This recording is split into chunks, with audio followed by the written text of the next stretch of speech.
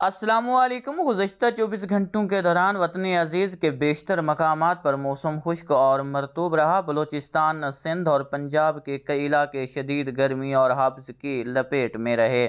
صبح کے وقت کی سیٹلائٹ تصویر پر نظر ڈالیں تو انتہائی شمالی علاقوں میں چند ایک مقامات پر ہلکے پھلکے بادل دیکھنے کو مل رہے ہیں۔ اس کے علاوہ سندھ کے بھی جنوبی جنوب مشرقی علاقوں میں ہلکے پھلکے بادلوں کا نظارہ کیا جا رہا ہے۔ باقی وطن عزیز کے بیشتر مقامات پر موسم صاف اور خشک ہی بنا ہوا ہے۔ نچلی سطح پر ایک اینٹی سائیکلون اس وقت راجستان اور پنجاب کے منکہ علاقوں پر بن چکا ہے، جس کے سبب یہاں پر جو ہوائیں ہیں وہ اوپر سے نیچے کی طرف بیٹھ رہی ہیں۔ تو یہاں پر زیادہ تر علاقوں میں موسم صاف بنا ہوا ہے اور رات کے اوقات میں یہاں پر خنکی بھی محسوس کی جا رہی ہے۔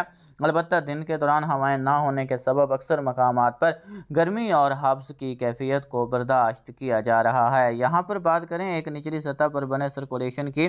تو یہاں پر راجستان اور گجرات کے منکہ علاقوں پر موجود ہے، جس کے اثرات سے اگلے چوبیس گھنٹوں کے دوران میں یعنی آج دوپہر کے بعد سے شام رات تک، جنوب مشرقی سندھ کے علاقوں میں کچھ مقامات پر بادل دیکھنے کو مل سکتے ہیں۔ ایک لو پریشر ایریا اس وقت یہاں پر ہاں، خلیج بنگال کے علاقوں میں دیکھنے کو مل رہا ہے جو کہ مزید شدت اختیار کرے گا۔ Well marked, low pressure depression اور ڈیپ ڈیپریشن کی حالت تک اس کے جانے کے امکانات بھی موجود ہیں۔ اور یہ آگے مغرب کی طرف حرکت کرتا ہوا بھارتی ریاست گجرات تک اس کے پہنچنے کے امکانات موجود ہیں۔ اس کے بعد یہیں اختتام پذیر ہوگا۔ بحیر عرب میں داخل ہو یا اس کا اثر پاکستان کے علاقوں میں دیکھنے کو ملے، اس کے امکانات تو نہیں ہیں، لیکن گجرات تک پہنچنے کے بعد کچھ بادل جنوب مشرقی سندھ میں داخل ہو سکتے ہیں، جو بارش کا سبب بن سکتے ہیں۔ یہ صورتحال چھبیس سے اٹھائیس سپٹمبر کے دوران دیکھنے کو مل سکتی ہے۔ اگر بات کی جائے ہائی پریشر کی، تو اس وقت بھی ہائی پریشر یہاں پر کویت، سعودی عربیہ اور آس پاس کے علاقوں پر موجود ہے اور کافی شدت کے ساتھ اثر انداز ہے۔ اور مزید نیچے کی طرف اس کے سرکنے کے امکانات موجود ہیں۔ اس اینٹی سائیکلون کے سبب جو کہ اس وقت سندھ، پنجاب اور راجستان کے منحقہ علاقوں پر بنا ہوا ہے، توقع کی جا رہی ہے کہ اگلے چوبیس گھنٹوں کے دوران یہاں سے مونسون الوداع ہو جائے گا۔ حالات کافی سازگار دکھائی دے رہے ہیں۔ اگر یہ صورتحال بنتی ہے تو جنوب مشرقی سندھ کو چھوڑ کر راجستان کے کچھ مغربی علاقے اور پنجاب کے جنوبی علاقے یہ جتنے بھی ہیں، یہاں سے مونسون الوداع ہو سکتا ہے۔ البتہ یہاں پر ابھی فی الحال شمال مشرقی پنجاب اس کے علاوہ کشمیر کے علاقے شامل ہیں، جنوب مشرقی سندھ کے علاقے شامل ہیں۔ یہاں پر ابھی مونسون رکا رہے گا اور اگلے چند دن کے دوران بھی یہاں پر مونسون ایکٹیویٹی ہونے کے امکانات موجود رہیں گے۔ بات کریں یہاں پر مغربی سلسلے کی، جو کہ آنے والے دنوں کے دوران شدت کے ساتھ اثر انداز ہوتا دکھائی دے رہا ہے۔ اس وقت ایران کے آس پاس کے بحر قزوین اور آس پاس کے علاقوں پر یہاں پر موجود ہے اور مزید آگے کی طرف حرکت کر رہا ہے۔ اس کے اثرات آپ کو چھبیس ستائیس اٹھائیس سپٹمبر کے دوران پاکستان کے مختلف وسطی اور شمالی علاقوں میں آندھی، گرجمک بارش اور پہاڑوں پر برف باری، جبکہ کچھ خیبر، پختونخوا، پنجاب اور کشمیر کے علاقوں میں یارہ باری کی صورت میں دیکھنے کو ملیں گے۔ اس کے پیچھے ایک اور مغربی سلسلہ بھی یہاں پر ترکی اور آس پاس کے علاقوں پر موجود ہے۔ اس کے اثرات بھی ہمیں توقع ہے کہ تقریباً انتیس تیس سپٹمبر اور یکم جو اکتوبر کے دن ہیں ان علاقوں میں شمالی شمال مغربی خیبر، پختونخوا، گرگت، بلتستان، کشمیر کے علاقوں میں بادلوں کی صورت میں دیکھنے کو مل سکتے ہیں اور بعض مقامات پر یہاں پر بارش ریکارڈ ہو سکتی ہے۔ اب موسمی بدلاؤ ہونے جا رہا ہے۔ جیسے ہی منسون ہوائیں اپنے اختتام کو پہنچیں گی تو یہ اینٹی سائیکلون ہائی پریشر جو کہ یہاں پر موجود ہے۔ اس کے اثرات آپ کو اس ہفتے کے آخر میں بلوچستان اور سندھ کے علاقوں میں جو ہے وہ شدت کے ساتھ دیکھنے کو ملیں گے۔ کراچی میں کوئی خاطر خواہ بارش ہو، اس کا امکان فی الحال اس ماہ کے آخر تک دکھائی نہیں دے رہا۔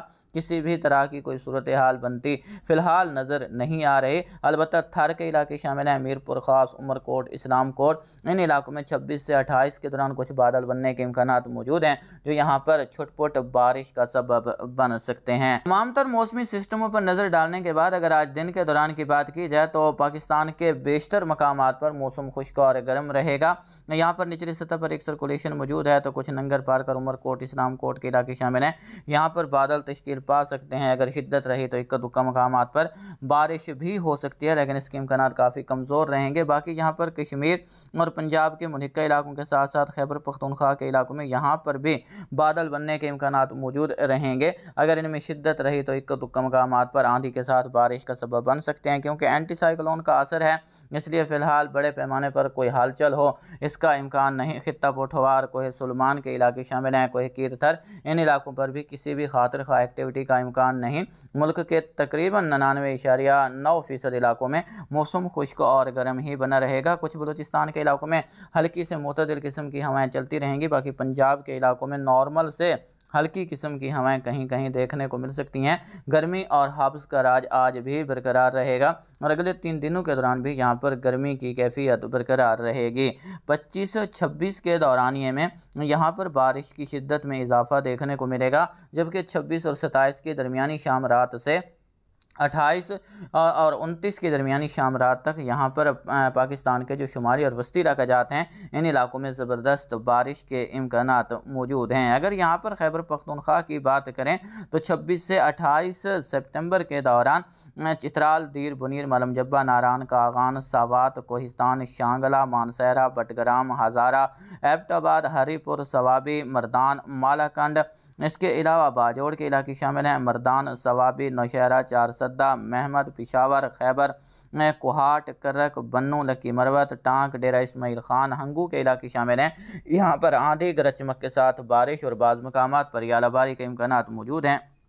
ہاں، جبکہ یہاں پر اگر بات کی جائے اورک زائی کرم وزیرستان کے علاقوں کی، اس کے علاوہ لنڈی، کوتل، تورخم، پاڑا، چنار کے علاقے شامل ہیں۔ یہاں پر بھی اس دورانیے میں بادل بننے، کہیں معتدل، کہیں تیز بارش ریکارڈ ہونے، جبکہ شمالی خیبر پختونخوا کے بلے خیبر پختونخوا کے علاقوں میں برف باری کا امکان بھی موجود رہے گا۔ پنجاب کی بات کی جائے تو پنجاب کے شمالی علاقوں کے لیے تو یہ سلسلہ کافی اچھا ثابت ہوگا، جس میں وفاقی دارالحکومت اسلام آباد، مری راول پنڈی، اٹک، چکوال تلا گنگ میاں والی جیلہم خوشاب سرگودھا منڈی بہاودین گجرات کے علاقے شامل ہیں۔ اس کے علاوہ سیال کوٹ نارووال وزیر آباد گجرا شیخو پورہ لاہور، قصور، ننکانہ صاحب، حافظ آباد سرگودھا خوشاب چنیوٹ، فیصل آباد، اکاڑا بھکر ان علاقوں میں آندھی کے ساتھ کہیں متدل، کہیں تیز تو کہیں موسلادار اور بعض مقامات پر جس میں خطہ پوٹھوار کے علاقے شامل ہیں۔ یہاں پر شدید بارش کے امکانات بھی موجود رہیں گے۔ تیز سے شدید آندھی کا امکان بھی موجود ہے۔ ستر سے نوے کلومیٹر فی گھنٹہ کی رفتار سے یا اس سے تجاوز کرتی ہوائیں بھی ریکارڈ ہو سکتی ہیں۔ اس کے علاوہ چند ایک مقامات پر یالہ باری کا امکان بھی موجود ہے۔ اگر بات کی جائے یہاں پر باقی علاقوں کی، جس میں لیا، جھنگ ٹوبا ٹیک سنگھ، سہیوال، پاک پتن خانے وال، وہاڑی، بہاول نگر کے اضلاع شامل ہیں۔ کوٹدو تونسا ڈیرہ غازی خان یہاں پر بھی چھبیس اور ستائیس کی درمیانی شام رات سے اٹھائیس سپتمبر کے دورانیے میں یہاں پر بھی بادل بننے کے امکانات موجود ہیں۔ آندھی کا امکان زیادہ رہے گا۔ جہاں پر بادل کچھ طاقتور رہے تو اس دورانیے میں یہاں پر بارش ریکارڈ ہو سکتی ہے، لیکن ٹکڑیوں کی شکل میں کہیں کہیں بارش دیکھنے کو ملے گی۔ اس کے علاوہ اگر ہم بات کریں، یہاں پر راجن پور رحیم یار خان، بہاول پور مظفر گڑھ لودھرا کے علاقے شامل ہیں۔ یہاں پر بھی زیادہ تر مقامات پر موسم خشک رہے گا۔ اگر یہاں پر کوئی آندھی چلے تو پینتیس سے پچپن کلومیٹر فی گھنٹہ کی رفتار سے یہاں پر آندھی ریکارڈ ہو سکتی ہے۔ لیکن یہاں پر بارش کا امکان کچھ کم ہے۔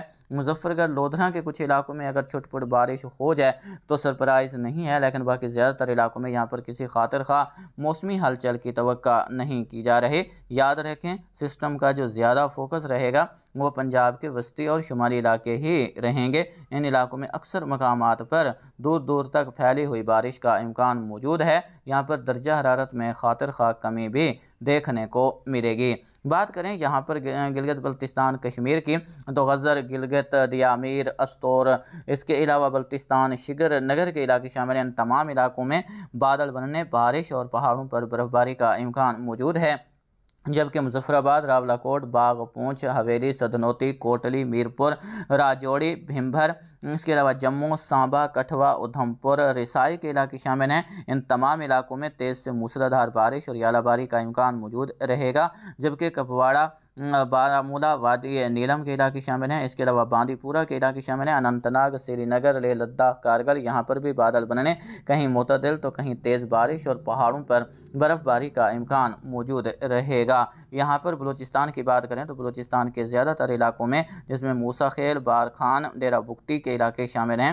یہاں کے علاوہ باقی اکثر مقامات پر موسم خشک رہے گا۔ یہیں چند ایک مقامات پر ڈیولپمنٹ ہو سکتی ہے جو بارش کا سبب بن سکتی ہے۔ باقی اکثر مقامات پر کسی خاطر خواہ بارش کا امکان موجود نہیں ہے۔ یہاں سے اکثر ممبرز پوچھتے ہیں یہاں کوئی خاطر خواہ بارشیں نہیں ہوئیں جس میں واشق چاغی تربت، گوادر کے علاقے شامل ہیں۔ یہاں منسون کے دوران بھی موسم خشک بنا رہا ہے۔ تو محترم ممبرز، فی الحال اگلے دو سے تین ہفتوں کے دوران یہاں پر کسی بھی خاطر خواہ سلسلے کی آمد کا امکان موجود نہیں ہے۔ یہاں پر موسم بدستور، خشک اور گرم ہی بنا رہے گا۔ اگر یہاں پر محتاط اندازے کے طور پر بتایا جائے کہ بارشیں کب تک ہوں گی، تو کم از کم اکتوبر کے آخر یا پھر نومبر میں ہی کوئی مغربی سلسلہ نیچے سرک سکتا ہے۔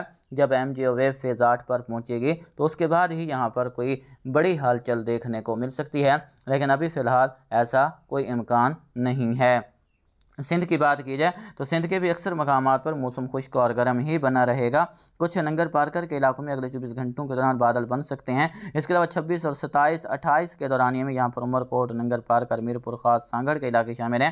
یہاں پر بادل بننے چند ایک مقامات پر بارش کے امکانات موجود رہیں گے۔ اگر کوئی کوہ کی تھر پر کوئی ڈیولپمنٹ ہو گئی تو جیکب آباد، کمبر، شہداد کوٹ کے علاقوں میں بھی آندھی کا نظارہ کیا جا سکتا ہے۔ لیکن بارش کے امکانات کافی کمزور ہیں۔ صوبائی دارالحکومت کراچی سے سمیت حیدرآباد، جامشور و نواب شاہ ان تمام علاقوں میں موسم خشک ہی بنا رہے گا۔ جاتے جاتے ایم جی ویب پر بات کرتے چلیں تو اگر گلوبل فورکاسٹنگ سروس کے مطابق دیکھیں تو ابھی بھی یہ فیز سات پر موجود ہے اور آگے اس کے کرنٹس فیز آٹھ پر پڑ رہے ہیں تو آنے والا مغربی سلسلہ کو شدت میں بہتر رہ سکتا ہے۔ اس کے بعد بھی اس کے کرنٹس جو ہے وہ پڑتے دکھائی دے رہے ہیں۔ تو توقع کی جا سکتی ہے کہ شمالی علاقوں پر ایک اور مغربی سلسلہ اکتوبر کے پہلے دس دنوں کے دوران اثر انداز ہو اور بارش کا سبب بنے۔ یعنی لیکن ایم ڈبلیو ایف کے مطابق یہ آگے بڑھ کر کافی تک کمزور ہوتی نظر آ رہی ہے، جس کے سبب مغربی سلسلے انتہائی شمالی شمال مغربی علاقوں تک محدود رہیں گے۔ باقی وطن عزیز کے اکثر مقامات پر اکتوبر کے پہلے دو ہفتوں کے دوران موسم زیادہ تر خشک ہی رہ سکتا ہے، جبکہ وسطی اور جنوبی علاقوں میں دن میں موسم گرم رہے گا۔ رات میں وسطی علاقوں تک درجہ حرارت میں گراوٹ دیکھنے کو ملے گی۔